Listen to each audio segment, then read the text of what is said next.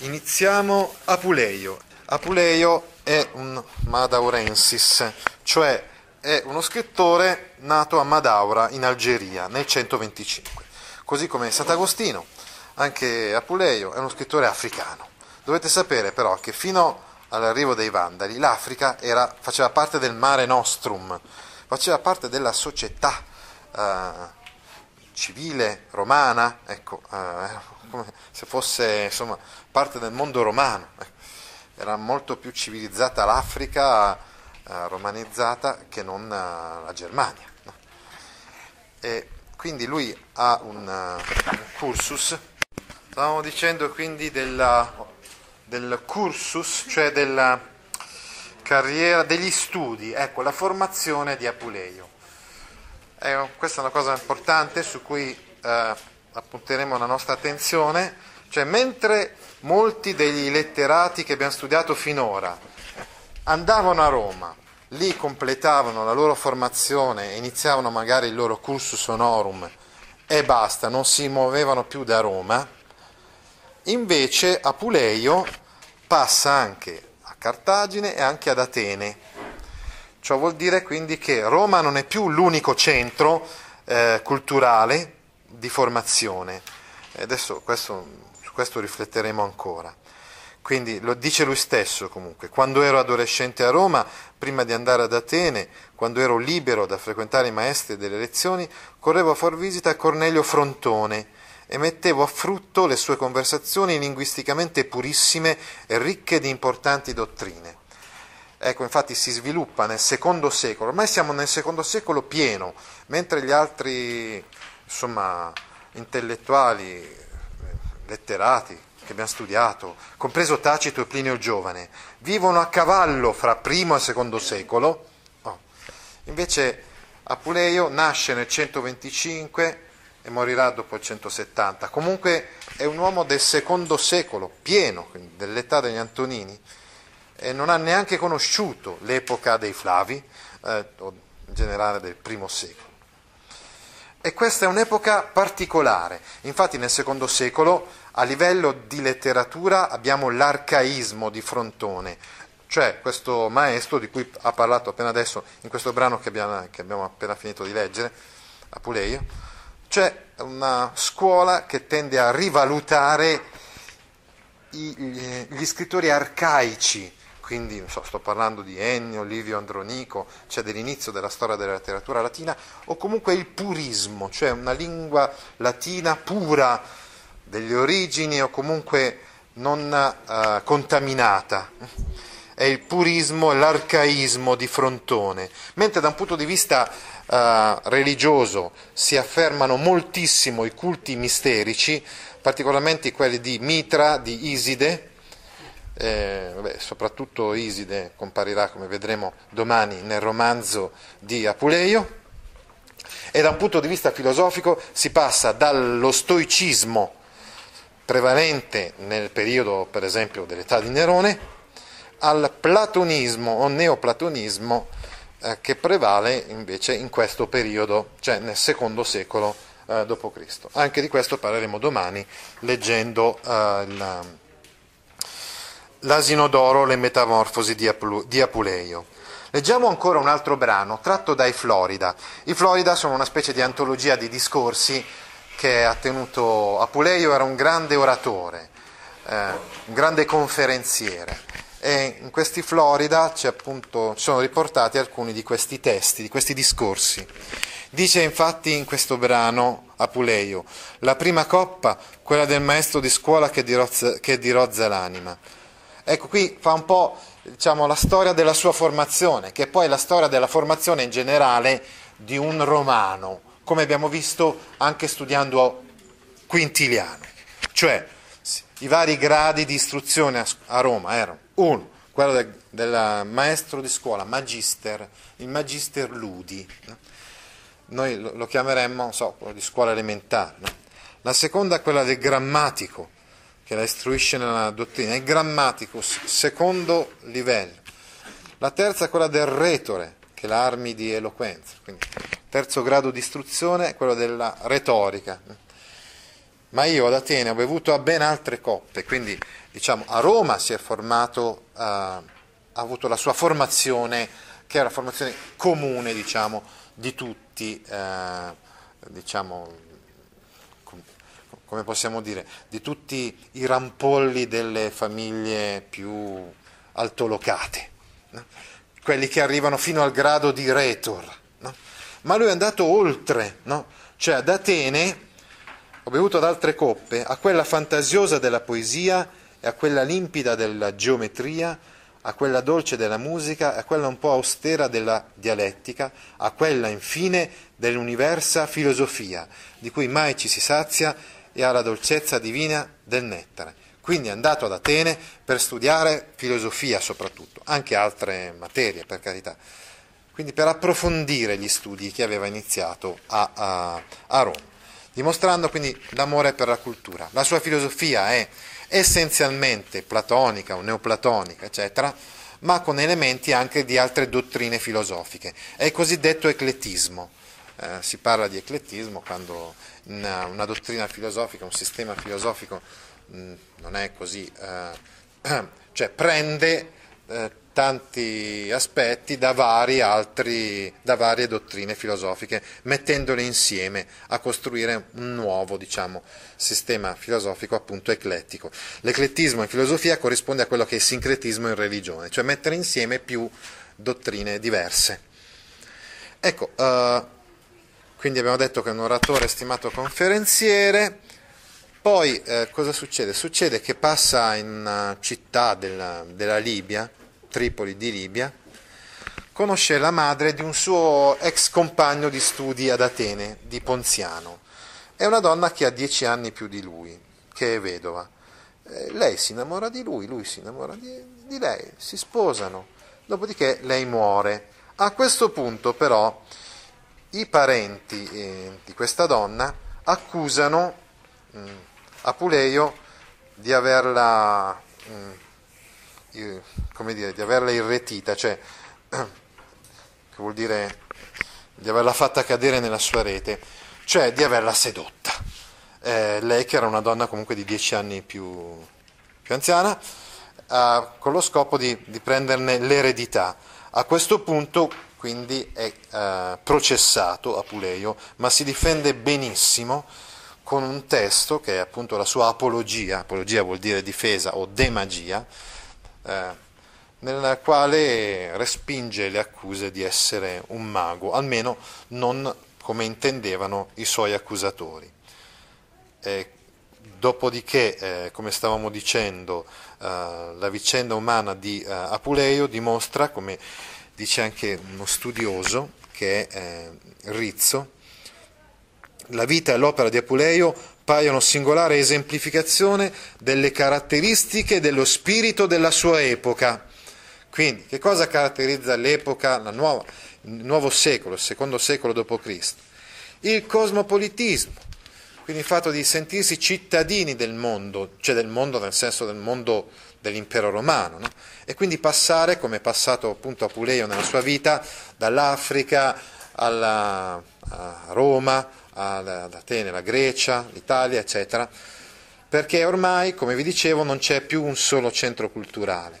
L'amore per il sapere, eh, per, il sapere, per la cultura, per le scienze, eh, a 360 gradi, quindi eh, per la filosofia, insieme anche però per la magia, che a quell'epoca stava avendo una sua grande diffusione. A dire la verità, noi dobbiamo dire una cosa, i romani sono sempre stati un po' superstiziosi, quindi la magia non è una novità del secondo secolo, del secondo secolo d.C. Sta di fatto però che comunque certe pratiche si diffondono soprattutto nel secondo secolo d.C.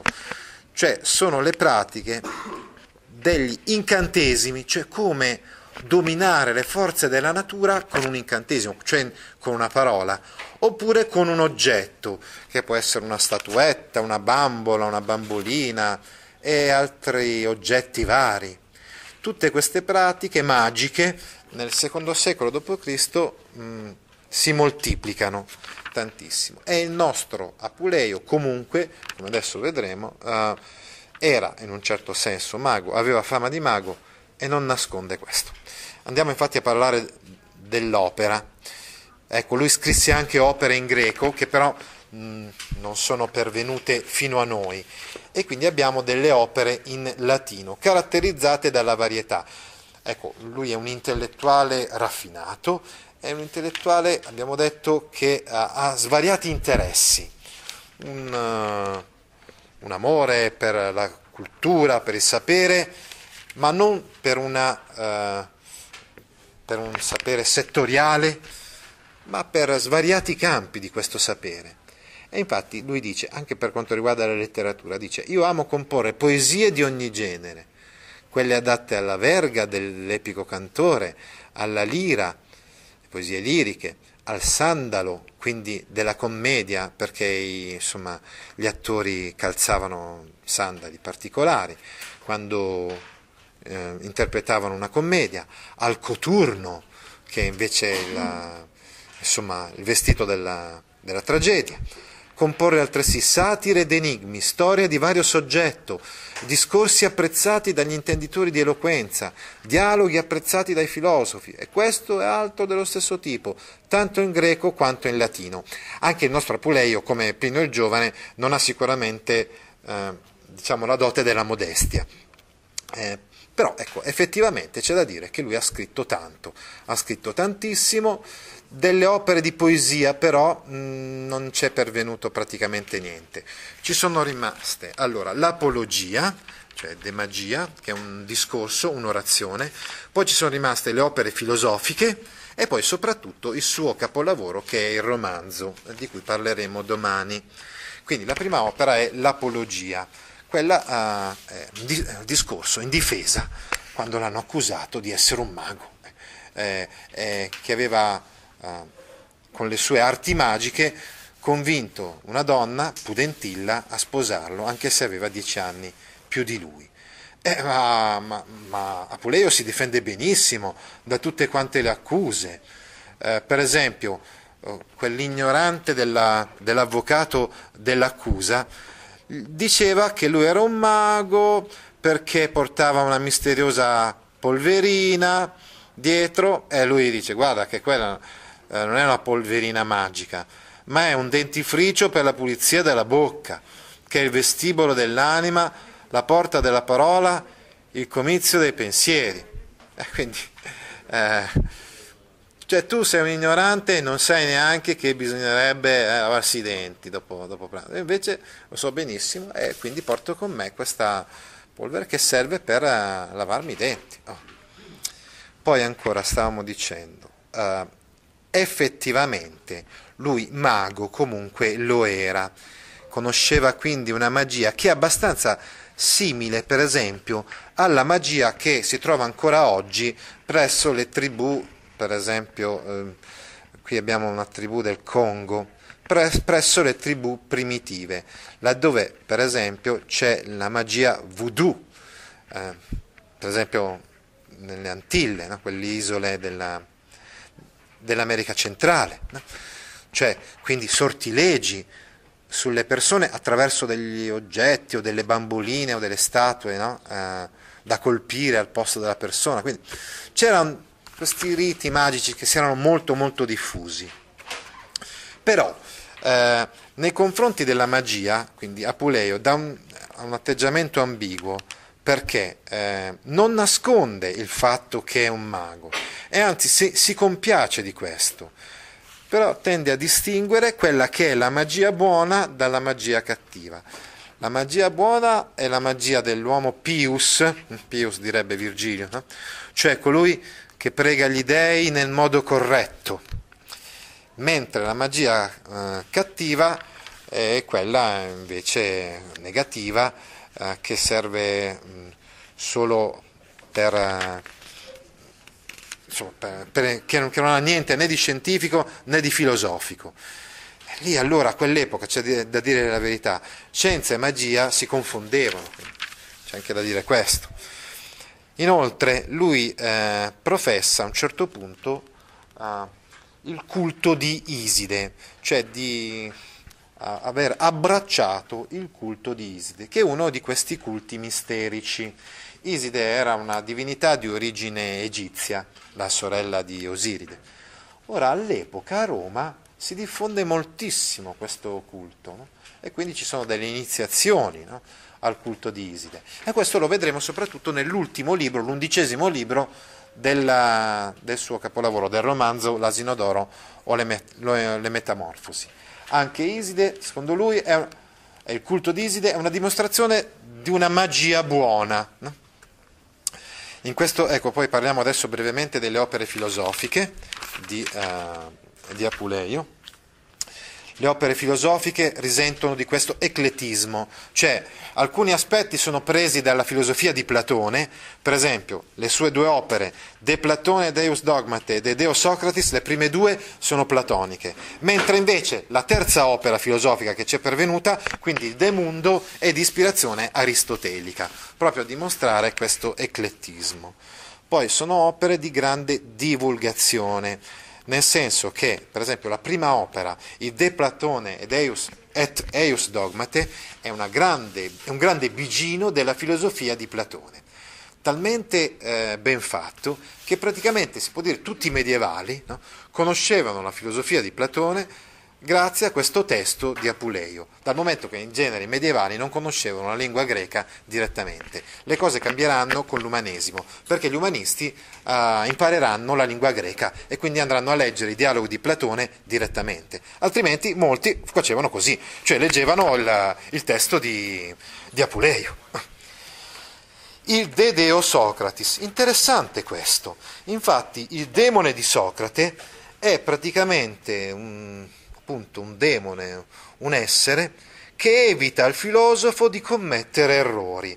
E questo ci fa uh, ben capire che i demoni per gli antichi erano talvolta non solo demoni cattivi, ma anche demoni buoni, come i nostri angeli, anche il nostro angelo custode. Il, dedeo, il demone di Socrate assomiglia molto al concetto cristiano di angelo custode, uno che, che non ti fa commettere errori, no? uno che insomma, che ti, che ti segue e ti accompagna. Infatti i demoni antichi erano mediatori tra gli dei e gli uomini, non solo in funzione negativa, no? ma anche in funzione positiva. Al contrario, poi i demoni cristiani eh, diventeranno, cioè quelli che tenderanno verso il basso, no? Quando, verso l'inferno, saranno i signori oh, dell'inferno, o meglio, saranno alle dipendenze di Lucifero, di Satana, nell'inferno e del male, mentre invece i demoni buoni, come il Deo Socrates di, eh, il demone di Socrate, eh, diventeranno gli angeli nella, eh, nella concezione cristiana.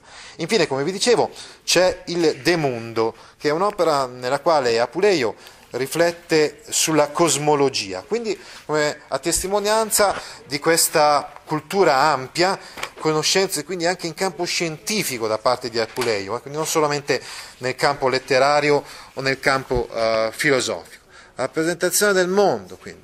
Eh, da una parte c'è la realtà sensibile, dall'altra quella divina. Eh, quindi c'è, come avevo detto, no? soprattutto nelle prime due opere un po' di platonismo, quindi l'anima che si stacca no, del, decisamente dal corpo e vive nel cielo, nell'iperuranio, e invece poi c'è una concezione cosmologica che è molto risente di, di Aristotele. Ti interessano file di questo genere?